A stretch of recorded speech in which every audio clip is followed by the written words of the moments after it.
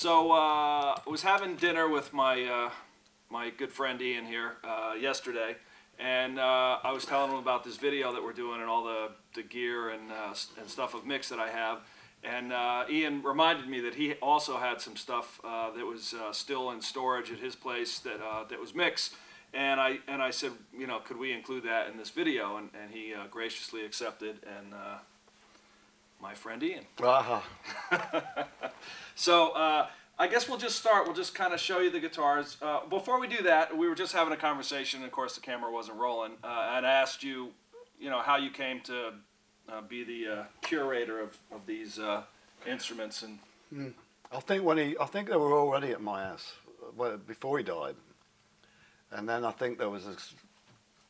I mean, things were all over the place. Susie was in Asker Street in London a lot of the time, you know. right, right, I went over, and uh, things were in flux. So my, I had a house, so you could put stuff at my house, you know. right, right. because she was running between apartments and somebody else's house. So they just sort of stayed here. Right. And uh, Lisa knows they're here, and Susie knows they're here. She took a couple of them. She took the last Les Paul. She took the Strat, the what was that like iron finish, the blue, the blue, steel blue, whatever they call Oh, oh, you the telly? The telly, yeah, Right, yeah, right. the telly. Right. I th- Was that an ESP or was it a um, Fender? You remember? No, it was a Fender. Was it? Yeah. Because I, I saw him playing a blue ESP telly body shaped uh, thing. Well, in a people few used to pictures. give them us stuff. Yeah. There was a guy downtown used to give us one each. This is one of the ones that we were given. You have his number by any chance? I could, I could use a few free guitars. No, guys would Yeah. people would give them you. I guess if it's starting out and it's a new guitar, you know, Right, we were pretty popular at the time, so they would then give you one. I don't know where mine is, but that's the one he got. Right, right. Well, this guitar is uh, it's uh, basically a Strat style uh, guitar by Bill Lawrence, who's pretty famous for his pickups. And I guess at some point, um, Bill uh, went into the guitar business like uh, a lot of guys do, and uh, and did a, a line of guitars. So this is basically a two humbucker Strat with a Kahler, which has got it dated into the 80s. Um, This is called a neat, don't they? yeah, that's the, the fine tuners. This ha- this is a, a trem bar. Fine tuners. Yeah, they're fine. Ooh, Well, uh, it was it's a, bad enough trying to do this without that. yeah. Well, if, when you do that, this you can't do that. It's a it's locked here, so then you Oh, you see. do the fine adjustments down here once you get it. You know. And it looks nice. Yeah, yeah. So uh, this this would definitely be an '80s guitar. Um, Kahler's kind of came and went with uh, Aquanet. Yeah, So uh, it's got a thing here too, right? That's that's the one that keeps it in tune, isn't it? right. Well, what- well, what you do is you, you tune the guitar up to pitch here, and then you lock it lock it here. And the theory is the guitar uh, the strings are locked at the bridge and at the nut, and therefore if you can whammy all the way down Oh, to them yeah. flopping, and then they'll come right back to pitch because there's no place for them to. the I just to- thought, you know, when a string goes, it's a major operation, you know. Well, it definitely is, and they also go out of tune because it's uh, uh, these are set to a spring in the back Uh-huh. with tension. So if a string breaks, the tension changes, and it's like a tug of war between the strings and the and the uh, springs. Progress for you. Yeah. So if a string breaks, then all of a sudden the springs win the tug of war, and your whole guitar is now a half a pitch tuned higher. So if you're playing an A, you start suddenly you're you need to go to A flat, to, you know, a or little G of sharp, whatever. Yeah, a little bit of slinking is in order. Yes, you must think. But yeah, this that's like all the pick scratches and stuff. So he he. Put Oh, he's wanged away on that from time to time. He's Yeah. a bit of a mess here, so Yeah. yeah. definitely did something with it. He's he's put some miles on this one. So Hmm. so this is this is this one, and then we're gonna move to something a little bit more uh, old school. We got still with the old pick and the strings. This is a Gibson uh, ES 125. Yeah, yeah. I'd have to run the serial number to see when it was built, but these were 50s uh, and 60s student guitars, really, yeah, um, that Gibson put out. So, this is old. yeah, yeah, one P90 pickup, volume and a tone. It's- Yeah, that's well old. yeah, strip tuners, little uh, oops here. hmm Um, uh, these, yeah, these were like student guitars way back in the day, and now they're, they're they've kind of gotten a little bit more popular, especially um, especially the the three quarter size ones. They, uh, you know, they they can, It's all, They can- it's all original, right? yeah, yeah, yeah. This this can this could fetch, you know, up to maybe two thousand dollars to the right guy. Uh, not not having it belong to Mick. Mick's pick still there. Yeah, yeah. Actually, I, I have to confess, it was inside the guitar. I heard Oh, it was? and I shook it out, put it in the strings. But yeah, Wow. so that was a Mick's pick.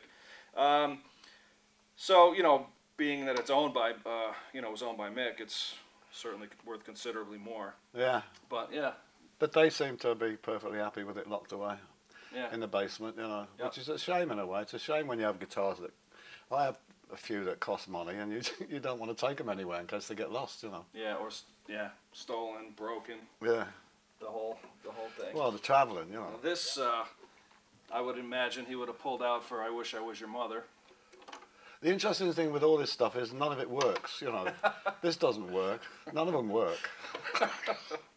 Just stuff he's acquired and He, no, well, he, he was heavy. He was heavy with. He, he didn't really regard them as instruments of wonder at all. I mean, to Mick, they were things to be used. You know, right, right. you know about all the broken heads and all the rest of it. Well, you yeah, know, we- pretty hard on guitar. We had a conversation when I was uh, searching searching for the uh, Les Paul, the stripped Les Paul.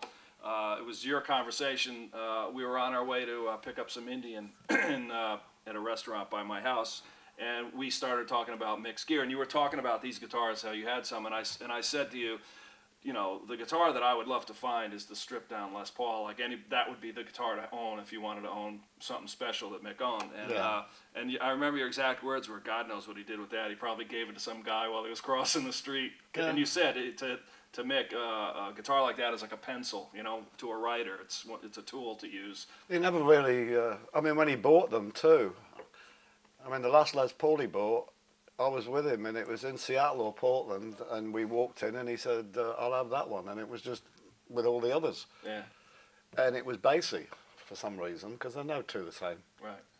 And he was moaning about it for it's just, I ain't got the cut, you know. And I'm like, well, why didn't you try it when you were in there, you know? Didn't want to. no, I like the look of that big time Ronson, Yeah. that one. Well, God bless him.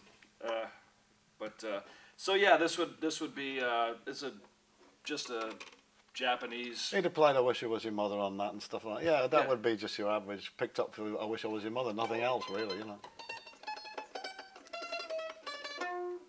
Yeah, I think we tried to use it at one point, uh, but uh, not something happened. Yeah. But uh, that's a cool little piece though, just for. It looks all right, doesn't it? Oh yeah, yeah, Considering it's been s- sitting in a case for 20 years. yeah, yeah. So there you go. There's no name on it, so I have no idea who made it, but uh, I guess it's like a, I think an A style. Uh, I think that's what they call this. It looks all right. I don't think it's an expensive one. I think it's a No, cheap these one. yeah, these are three, four hundred bucks. Uh, you know, to buy. Uh, uh, Bit of gaffer down here. What's that? oh yeah, yeah. What's he got? Yeah, it was probably to tape the, the cable Oh, in or something. right, Looks like okay. there's been a few uh, modifications there. That looks like a uh, hardware store washer. Plus VAT. Yeah, there you go. All right, so that's that. And next up is Hurry up, a- because it's all, it's hot in here, isn't it? Yeah, I'm getting sweaty. this is being done in the midsummer. next up. Now this is kind of a very cool piece. This is a early. I'm going to say this is uh, 80s definitely, but this is an early Adamas. Um, I mean, just look at the ornate headstock. You know, they they certainly don't do that anymore. This reminds me of Bearsville, the year that, you know when he was up there. Yeah. He lived he lived in Woodstock, and uh, Bearsville studio looked like that. Yeah. You know what I mean? And Yeah. I got a feeling that's why he probably picked that up. Yeah, there and there's actually there was a a, a repair uh, thing in the case that I found. It still don't work.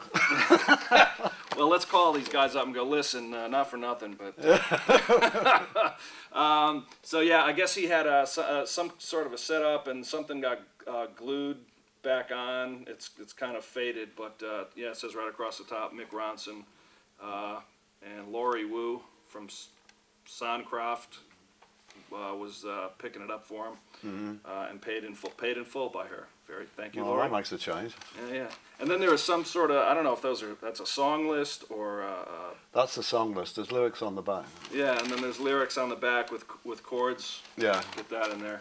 So that's uh, that's that. This Adamas is is was the uh, and this is kind of cool too. I mean, it's got this this raised.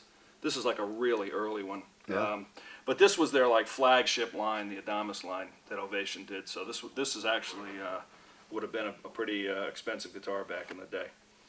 Yeah, I mean, what it's- is that, leather or? no, it's it's like carved wood binding. It's it's really uh, That and must be worth a few bob. yeah, and this has um, and these uh, this was uh, I think a graphite top, and then of course the you know the the uh, Mm-hmm. I never epoxy liked back. the ovation backs, you know. I don't either. They- sliding off the Exactly. yeah. Most people find them hard to sit with. Yeah. But uh, but when I met you, you were Bad enough you want to, you got to sit down and play one after all these years without it slipping, you know. Yeah, yeah. But I, when I met you, you were playing ovations before I got you hooked on RainSongs. Really?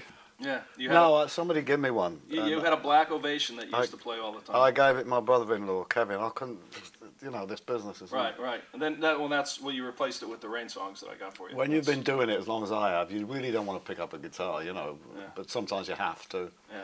And when it does that, it's like, no, Yeah. that's enough to put it away. So you want one that's nice and comfy. Right. Having said that, this is a beautiful piece of work. Yeah. Van Der. Yeah. Yeah. Oh, it's yeah. It's all that the laminate for the for the headstock. That looks in relatively good nick, having gone through Ronson's hands. Yeah, yeah. It's uh, you know, I think it's a setup, and uh, this would be uh, this would be still a uh, Strings a bit rusty. yeah, That's it. perfect. Three, four, and then we got uh, last but not least. Reach over here. oh, that thing, yeah. Oh, God. That thing. I tried to tune the E the E string several times, and it just kept going back to. He kept. pers- That's, he played this a lot. But uh, He, yeah, He played it a lot, and it was for a ne- it was never right. You know, there was just something wrong with it, and he and he just would not stop playing it. You know. well, it was a challenge. I don't know what it was.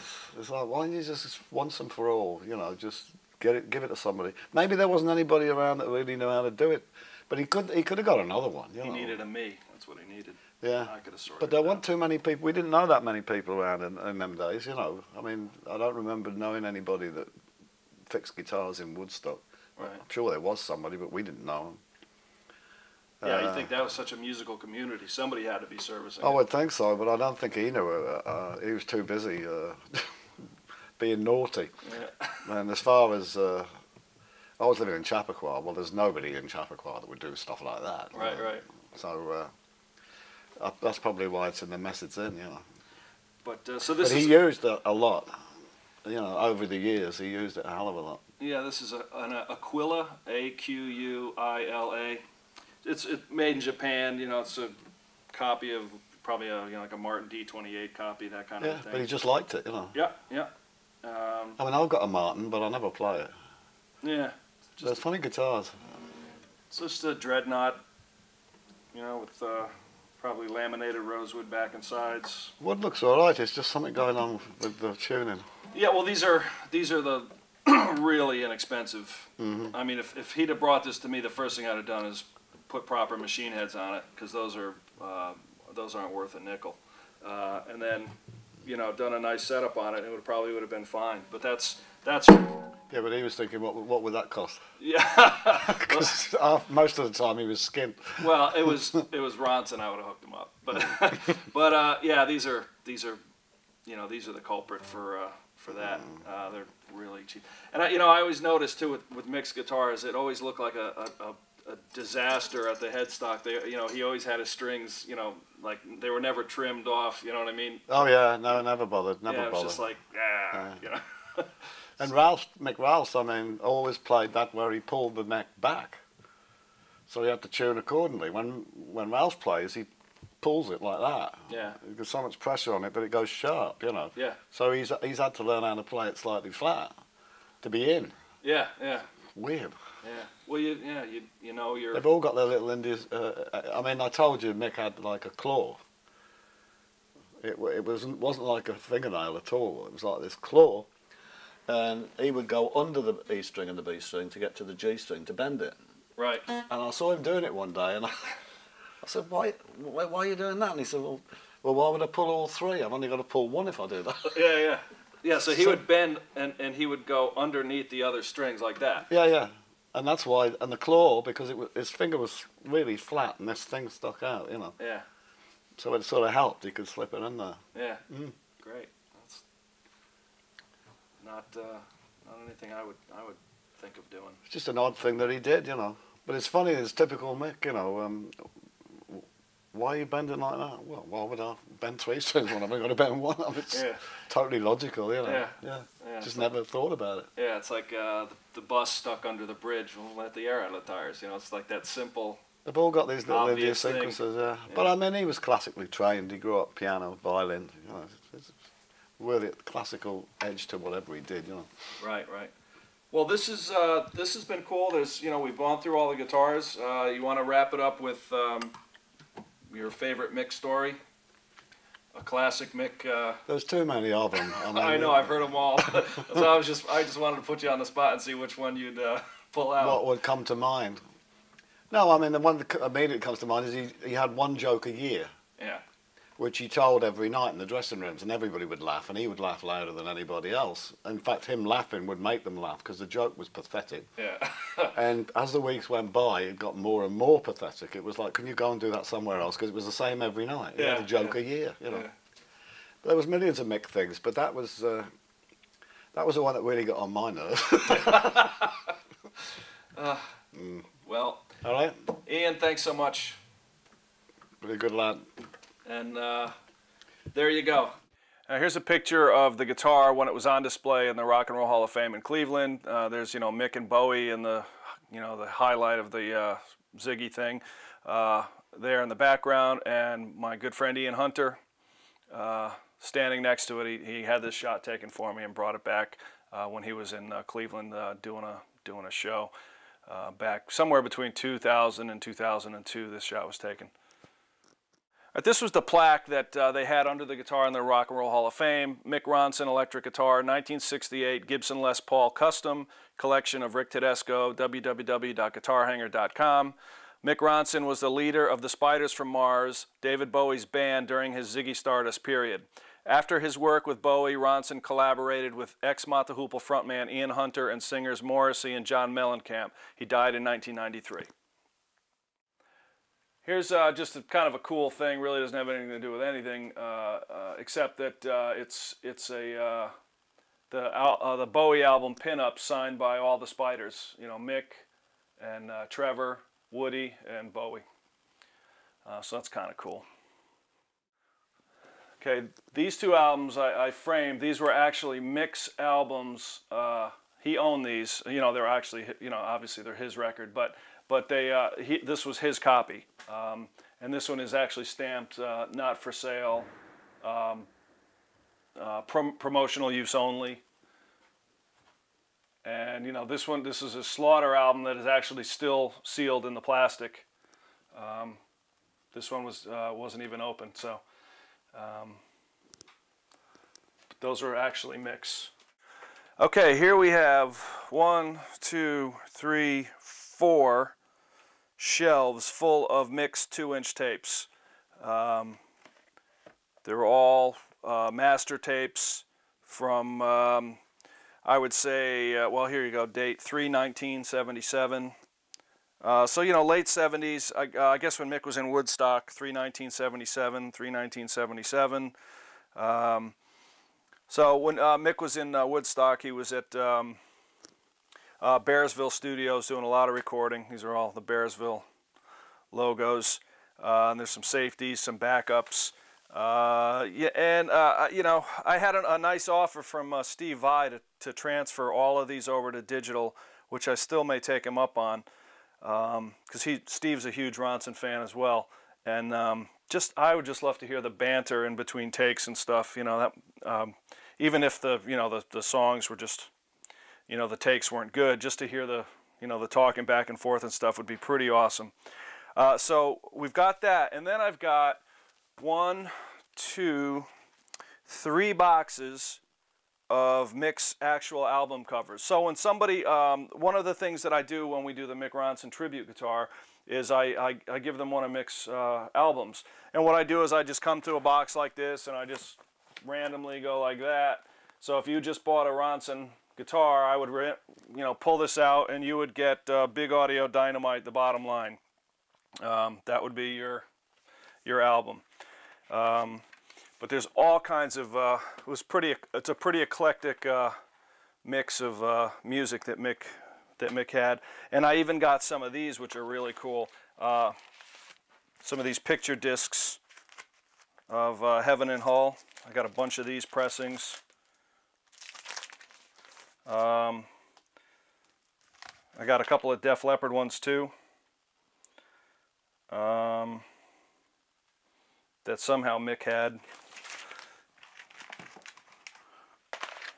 But yeah, lots of uh, lots of these these Heaven and Hull picture discs.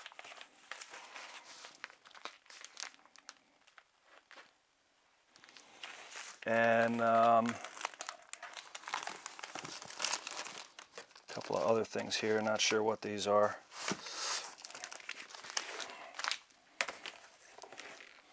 Def Leppard. Uh, okay, I guess. Well, I guess Joe probably gave these to Mick. Um, yeah, because it was uh, only after dark um, is on here. So yeah, uh, Joe probably gave these to Mick.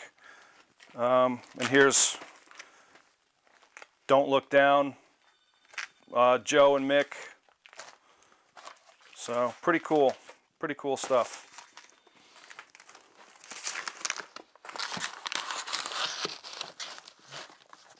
So that's uh, that's my Ronson Shrine. That's uh, that's a lot of the uh, a lot of the cool stuff. A lot of this, I got all of this pretty much except the guitar from Susie when uh, she was moving from a house back into an apartment in the city. They, had, you know, they had a house out in Long Island, and um, it was just too much stuff to to cart around, she didn't want to put it in storage, uh, so she had to part with it, and uh, and I couldn't resist.